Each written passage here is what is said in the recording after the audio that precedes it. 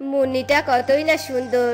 তার উপর কত স্মার্ট ওর মতো সুন্দর স্মার্ট মেয়ে কলেজে একটাও নেই। আমিও তো কত বড় লোকের ছেলে। বাড়ি, গাড়ি ব্যাংক ব্যালেন্স কি নেই আমার? তবুও মুন্নি আমার দিকে না তাকিয়ে শুধু ওই ফালতু মিডল ক্লাস ছেলেকে নিয়ে সারা দিন ঘুরে বেড়াচ্ছে। না, এবার একটা সুযোগ বুঝে মুন্নিকে আমার মনের কথা বলে দিতেই হবে আমার। মনের ভাবনাকে সত্যি করার জন্য? টোনা বাড়ি থেকে বেরিয়ে পড়ে। এদিকে টুনি নামের একটা মেয়ে টোনার অপেক্ষায় রাস্তায় দাঁড়িয়ে আছে। যেই না টোনা তার সামনে আসে, তখনই টুনি মেয়েটা বলে ওঠে, টোনা, তোমার সাথে আমার কিছু কথা ছিল টোনা। তুমি একটু কষ্ট করে আমার কথাগুলো শুনবে? দেখো টুনি, আমি এখন ব্যস্ত আছি, তাই তোমার সাথে আমি পরে কথা বলে নিব। এখন আমি আসছি। আচ্ছা তুমি যখন এতই ব্যস্ত, তখন যাও।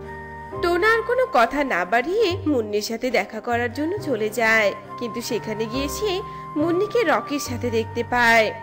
আবারও সেই রকির সাথে বসে আছে মুন্নি। দূর চাই আমার আর ভালো লাগে না। আমি আজ এখানে ওর জন্য বসে অপেক্ষা করব। আর যখনই সুযোগ পাবো, তখনই আমি ওকে আমার মনের কথাগুলো সব বলে দিব।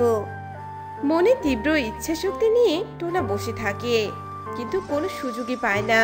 টোনা রাগ করে বাড়ি ফিরে যায়। এরপর দেখতে দেখতে সকাল হয়ে আসে।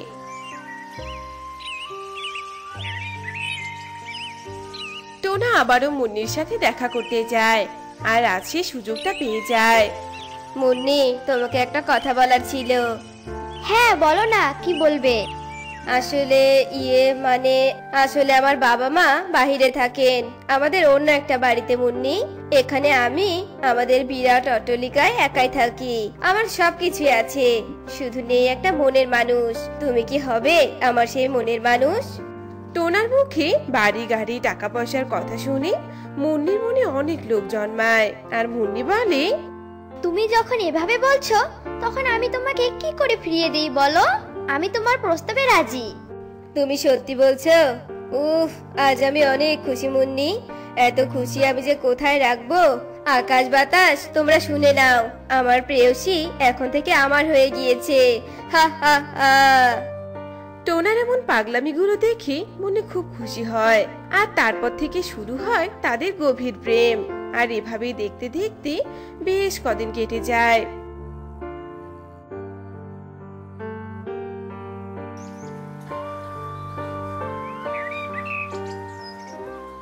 এরপর হঠাৎ একদিন টুনি হাতে একটা লাল গোলাপ নিয়ে টোনার কাছে আসে। টোনা, তুমি তো আর আমার কথাটা শুনলেই না। তাই আমি আজ বলতে এলাম। আসলে টোনা, আমি তোমাকে অনেক ভালোবাসি। তোমাকে ছাড়া আমি যে আর কিছু ভাবতে পারছি না, টোনা। তুমি এই লাল গোলাপটা নিয়ে আমাকে গ্রহণ করে নাও না, টোনা। হা হা হা। টুনি, তুমি ভাবলে কি করে? আমি তোমার মতো একটা গরিব বস্তির মেয়েকে আমার গার্লফ্রেন্ড বানাবো? তুমি কি কখনো তোমার চেহারাটা আয়নায় দেখেছ?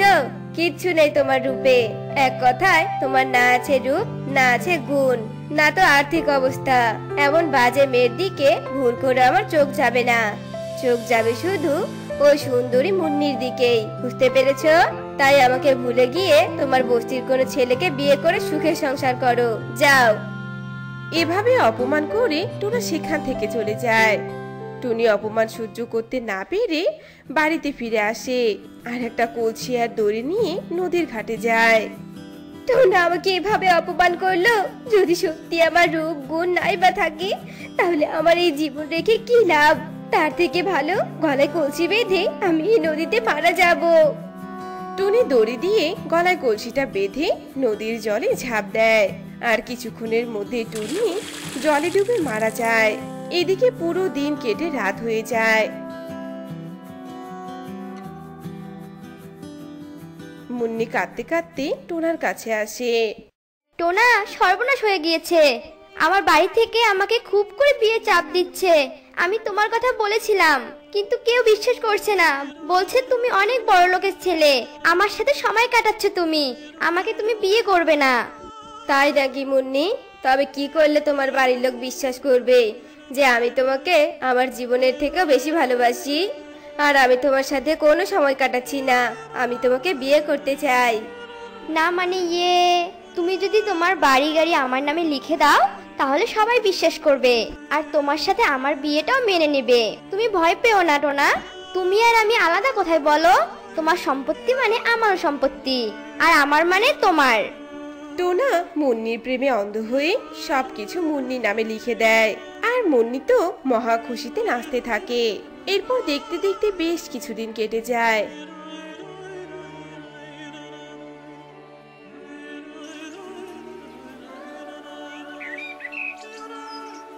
সময়ের সাথে সাথে মুন্নিও পরিবর্তন হয়ে যায়। আরও টোনাকে বার্তা দেয় না। সারা দিন মুন্নি রকের সাথে কাটায়। এ দেখে টোনা ভীষণ রেগে যায়। প্রতারক, ঠক, আমার কাছ থেকে সবকিছু নিয়ে তুই অন্য ছেলের সাথে ঘুরে বেড়াচ্ছিস, আজ তোকে আমি মেরেই ফেলব। এই বলে টোনা মুন্নিকে কোনো কিছু বলার সুযোগ না দিয়ে পাশে থাকা একটা লাঠি দিয়ে মুন্নির মাথায় আঘাত করে। আর তখনই মুন্নি মাটিতে পড়ে যায়। আর ছটফট করতে করতে সেখানেই মুন্নি মারা যায়। টোনা মনের রাগে নিজের বাড়িতে গিয়ে দরজা লাগিয়ে শুয়ে থাকে। এদিকে দেখতে দেখতে রাত পেরিয়ে ভোর হয়।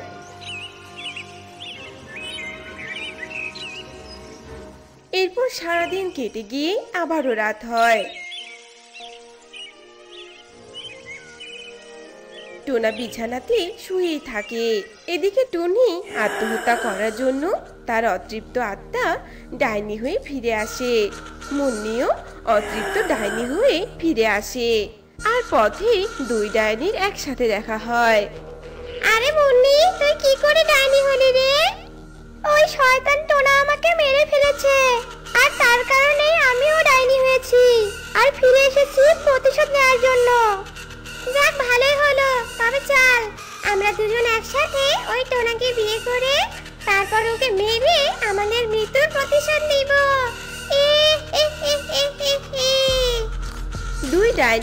সাধারণ পাখির রূপ নিয়ে টোনার কাছে যায়। আর দুজনকে দেখে টোনা ভীষণ ভয় পেয়ে যায়। ভয় পেও না টোনা, আমরা দুজন তোমার বউ হয়ে তোমার ঘর আগলে রাখতে এসেছি। এ কি? তোমরা? তোমরা মারা যাওনি? হ্যাঁ গিয়েছি তো তবু আমি তোমাকেই বিয়ে করব টোনা। না না, আমি কাউকে বিয়ে করব না। তুমি যদি বিয়ে না করো তাহলে কিন্তু আমরা পুলিশকে গিয়ে সব বলে দিব টোনা। আর তখন পুলিশ তোমাকে ফাঁসিতে ঝোলাবে। দুই ডাইনির কথায় টোনা ভীষণ ভয় পায়। আর কোনো উপায় না পেয়ে টোনা দুই ডাইনিকে বিয়ে করে নেয়। আর তখনই দুই ডাইনি তাদের ডাইনি রূপে ফিরে আসে। টোনা আমরা তোমাকে বিয়ে করেছি শুধুমাত্র আমাদের ইচ্ছে পূরণের জন্য।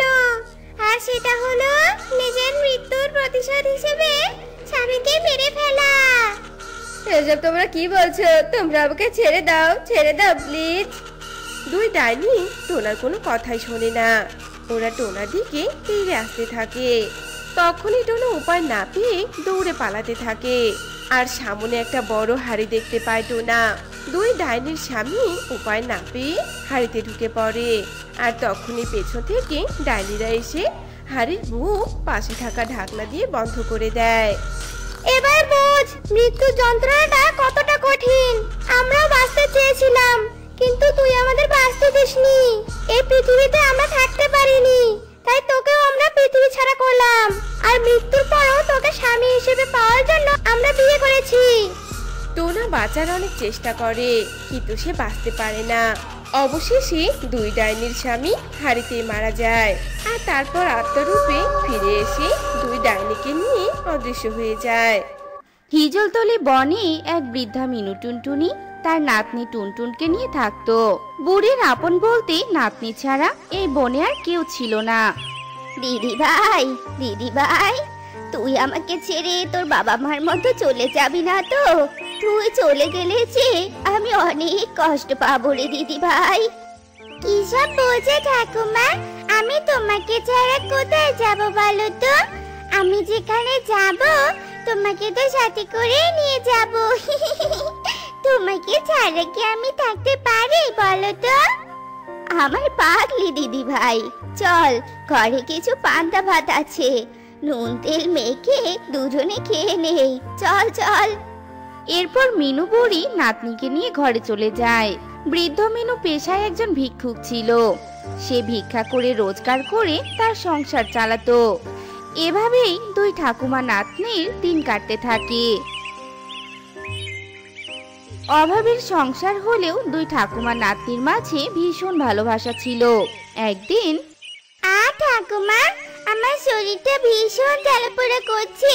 আহ ঠাকুমা, জ্বলে গেল জ্বলে গেল, আমার শরীরটা যে জ্বলে গেল ঠাকুমা, আমাকে বাঁচাও।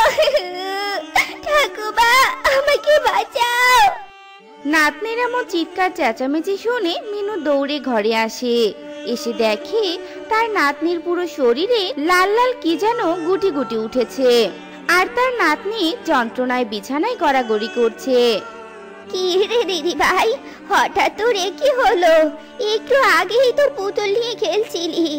আর তোর শরীরে এসব কি উঠেছে রে দিদি ভাই দিদি ভাই রে, এসব কি হয়ে গেল রে দিদি ভাই জানি না ঠাকুমা, তুমি আমাকে বাঁচাও ঠাকুমা।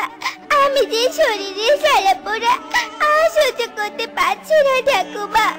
আমাকে তুমি বাঁচাও ঠাকুমা। দিদি ভাই রে অবস্থা তো দেখছি বেশি ভালো না। এক্ষুনি ডাক্তার ডাকতে হবে। দিদি ভাই আর একটু সহ্য কর দিদি ভাই। আমি এক্ষুনি ডাক্তার বাবুকে ডেকে আনছি। তখন সন্ধে হয়ে গেছে। মিনু বুড়ি লাঠি ঠুকে ঠুকে ওই বনের হাতুড়ি ডাক্তার কালু কাকের কাছে যায় আর তাকে বলতে থাকে ডাক্তার বাবু ডাক্তার বাবু তাড়াতাড়ি আমার বাড়িতে চলুন। আমার নাতনিটা যে ভীষণ অসুস্থ। ও শরীরে কি যেন গুটির মতো উঠেছে। আর শরীর জ্বালাপোড়া করছে। তাড়াতাড়ি চলুন না ডাক্তার বাবু ঠিক আছে, তাহলে আগে অগ্রিম পাঁচশো টাকা ফি দিন, তারপর আমি যাব। কি বললেন ডাক্তার বাবু পাঁচশো টাকা অগ্রিম ফি দিতে হবে। কিন্তু ডাক্তার বাবু আমার কাছে যে এখন কোনো টাকা নেই। কি করে টাকা দিব আমি? আজকে চলুন আমি না হয় কাল ভিকে করে আপনার ফিটা দিয়ে দিব। কি বললি বুড়ি? তোর কাছে কোনো টাকা নেই? আবার আমাকে ডাকতে এসেছিস? শোন আমি টাকা ছাড়া রোগী দেখি না। আগে টাকা তারপর রোগী। এখন যা তো যা এখান থেকে। আমার সময় নষ্ট করিস না। না না ডাক্তার বাবু এভাবে বলবেন না আপনি। একটু গরিবের দিকে দেখুন। দয়া করে একবার আমার নাতনিকে দেখুন ডাক্তার বাবু আমার নাতনি যে ভীষণ কষ্ট পাচ্ছে। এই বুড়ি এই সোজা কথা বুঝতে পারছিস না? কানে কি তুলো গুজে রেখেছিস নাকি? তোকে বললাম না আমি টাকা ছাড়া রোগী দেখি না। এবার এখান থেকে দূর হ নইলে ঘাট ধরে তোকে বের করে দিব। যা বলছি? বৃদ্ধ মিনু বুড়ি কালু ডাক্তারকে অনেক অনুরোধ করে কিন্তু কোনো কাজ হয় না। ডাক্তার বুড়ির কোনো কথাই শোনে না। উপায় না পেয়ে বুড়ি কাঁদতে কাঁদতে বাড়ি ফিরে আসে। দিদি ভাই দিদি ভাই রে আমি যে তোর জন্য ডাক্তার আনতে পারলাম না রে দিদি ভাই আমাকে মাফ করে দিস। ঈশ্বর আমার দিদি ভাইটাকে তুমি সুস্থ করে দাও ঈশ্বর সুস্থ করে দাও। মিনু তার নাতনির পাশে বসে এসব বলে আর অনেক কাঁদতে থাকে। এদিকে রাত যত গভীর হতে থাকে, টুনটুনের শরীরের গুটিগুলো তত বড় হতে থাকে, আর টুনটুন ব্যথা চিৎকার করতে থাকে। এভাবেই রাত কেটে ভোর হয়ে যায়। এদিকে ভোর হতেই টুনটুনের শরীর ফুলে যেতে থাকে, আর এক সময় টুনটুন মারা যায়। নাতনিকে হারিয়ে মিনু প্রায় পাগল হয়ে যায়। হায় ঈশ্বর, তুমি এটা কি করলে ঈশ্বর? শেষ পর্যন্ত আমার নাতনিটাকে আমার কাছ থেকে কেড়েই নিলে, এখন আমি কি নিয়ে বাঁচবো ঈশ্বর? দিদি ভাই আমাকে মাফ করে দিস দিদি ভাই তোর এই গরিব ঠাকুমা তোর চিকিৎসার ব্যবস্থা করতে পারল না রে দিদি ভাই তুই আমাকে মাফ করে দিস। বৃদ্ধ মিনু বুড়ি নাতনিকে হারিয়ে অনেক কান্নাকাটি করতে থাকে। এরপর মিনু নাতনির সৎকার করায়। এভাবেই বেশ কয়েকদিন কেটে যায়। বৃদ্ধ মিনু সব সময় তার নাতনির কথাই ভাবতো। এভাবেই খেয়ে না খেয়ে বুড়ির দিন কাটতে থাকে। একদিন হঠাৎই মিনু বুড়ি দেখে তার আঙ্গিনায় একটা আপেল গাছের চারা। হে কি? আমার আঙিনায় এই আপেল গাছের চারাটা কীভাবে এলো? আমি তো রোপণ করিনি। যাই হোক, চারাটা যেখান থেকে আসুক, আজ থেকে আমি এর যত্ন করব। আমাকে একা ফেলে তো আমার ছেলে, ছেলের বউ, নাতনি সবাই চলে গেল। আজ থেকে আপেল গাছের চারাটাই আমার বেঁচে থাকার একমাত্র সম্বল। এরপর থেকে বুড়ি আপেল গাছের চারাটার যত্ন নিতে শুরু করে। প্রতিদিন নিয়ম করে চারাটাতে জল দেয়, সার দেয়, অনেক যত্ন নিতে থাকে। ঝড় বৃষ্টি হলে চারাটাকে ঝুড়ি দিয়ে ঢেকে রাখে। এভাবেই কয়েক মাস কেটে যায়। মিনুপুরের যত্নে আপেল গাছের চারাটা ধীরে ধীরে বড় হতে থাকে। একসময় আপেল গাছটা অনেক বড় হয়ে যায় আর আপেল গাছে বড় বড় লাল টসটসে আপেলও ধরে। বাবা, আপেল গাছে কত সুন্দর টস টসে লাল আপেল ধরেছে। কি সুন্দর দেখতে আপেলগুলো। বুড়িমা, সবই তো তোমার যত্নের ফল। তুমি আমাকে যত্ন করে বড় করে তুলেছো, তাই তো আমি ফল ধরাতে পেরেছি। এই নাও, একটা আপেল তুমি খাও। এখন থেকে আর তোমাকে কষ্ট করে ভিক্ষা করতে হবে না। আপেল খেয়ে তোমার ক্ষুধা মেটাতে পারবে তুমি। এরপর আপেল গাছ বুড়িকে একটা আপেল দেয়, আর বুড়ি আপেলটা না খেয়ে ঘরে রেখে দেয়। এভাবেই বুড়ি প্রতিদিন আপেল গাছের যত্ন নিত। আর আপেল গাছ বুড়িকে একটা করে আপেল দিত। কিন্তু বুড়ি আপেলটা না খেয়ে ঘরে জমিয়ে রাখতো। এটা আপেল গাছ লক্ষ্য করে। কি গো বুড়িমা? আমি যে তোমাকে প্রতিদিন একটা করে আপেল দেই, তুমি কি আপেলটা খাও না? কই, একদিনও তো তোমাকে খাওয়া দেখলাম না। তুমি আমাকে ভালোবেসে প্রতিদিন আপেল দাও। আমি কি আর সেসব আপেল খেতে পারি? তাই যত্ন করে রেখে দিয়েছি গো। বুড়িমা আজ একটা আপেল খেয়ে দেখো না। আপেল গাছের কথা শুনে মিনু বুড়ি আর না করে না। ঘরে গিয়ে মিনু বুড়ি একটা আপেল নিয়ে যেই না কেটে দুই ভাগ করে অমনি আপেলের ভিতর থেকে একটা মুক্ত বেরিয়ে আসে। কি হে কি? আপেলের ভিতর মুখটা? এটা কি কাণ্ড রে বাবা? আপেলের ভিতর আবার মুখটা থাকে নাকি?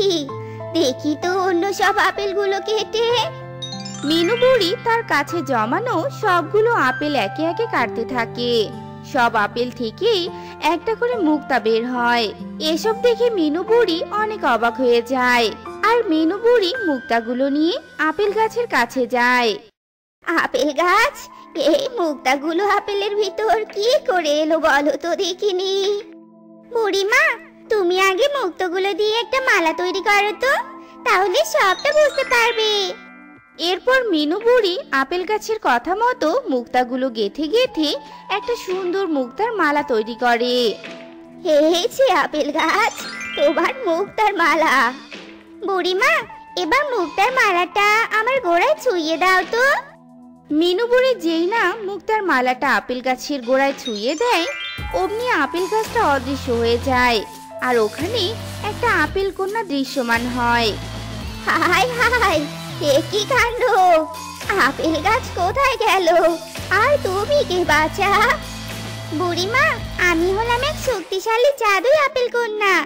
এক তান্ত্রিক আমাকে অভিশাপ দিয়ে মুক্ত বানিয়ে একটা আপেলে বন্দি করে রেখেছিল।